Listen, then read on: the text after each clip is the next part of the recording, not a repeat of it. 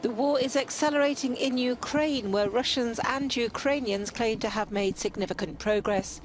The Russians in the north, the Ukrainians in the south, where the bulk of their counter-offensive is focused. Spokesman for the Russian Foreign Ministry said on Friday. На Купянском направлении улучшено тактическое положение подразделений западной группировки войск за счет овладения опорными пунктами противника и ключевыми высотами. Meanwhile, Ukrainian troops have made remarkable progress, according to Washington, on the southern front. The Pentagon endorses the optimism expressed by the Ukrainian authorities after the capture of Robotyne, which they said had opened the doors to Crimea. In the north, they say they are resisting the attacks of Russia.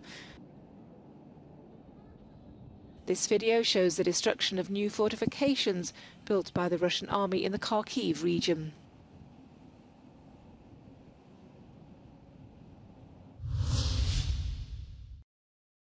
The shooting of Amarena, an endangered brown bear near a national park, has shocked many Italians and left her two young cubs without a mother. The man who shot her with a rifle on Thursday night told police he felt he was in danger as she'd entered his property. Animal rights activists are outraged.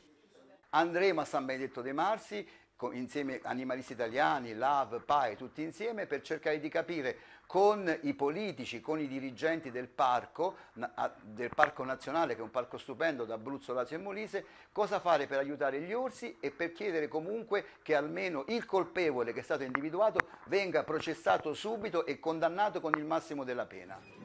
Villagers had often watched Amarina calmly walk in streets near the park, where she hadn't presented a threat to anyone.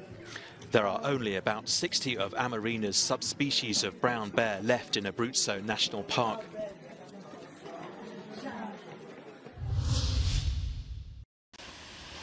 These are Saola's first steps into Shanwei in South China. This super typhoon, as the authorities have called it, comes with heavy rains and winds that exceed 200 kilometres an hour. Its force has been fully felt by this television reporter, who barely manages to stay on his feet while reporting on the typhoon. The authorities have declared a red alert, a measure that affects tens of millions of people.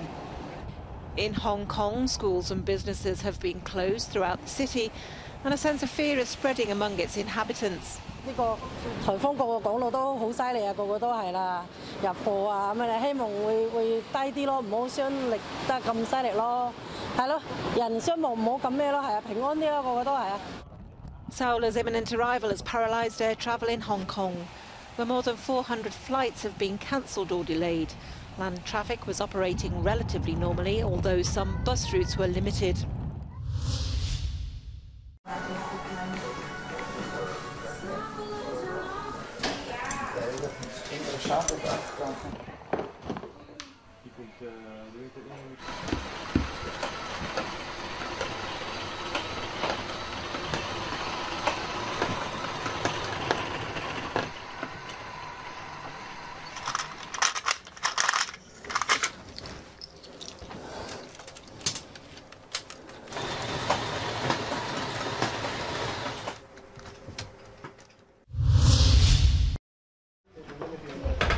The manager of Spain's men's football team has apologised for applauding his boss's claim he was the victim of a smear campaign after he kissed a female player.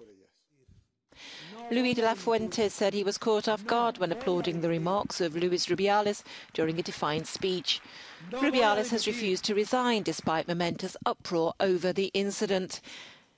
He kissed Spanish attacker Jenni Hermoso on the lips after the country's victory over England in the Women's World Cup final last month.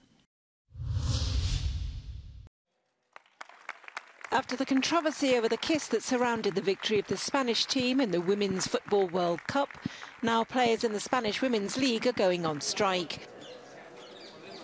The players have called for industrial action for better paying conditions during the first two rounds of the upcoming season. The strike was called after negotiations for a new collective bargaining deal broke down with Liga F, the revamped women's league that started last season.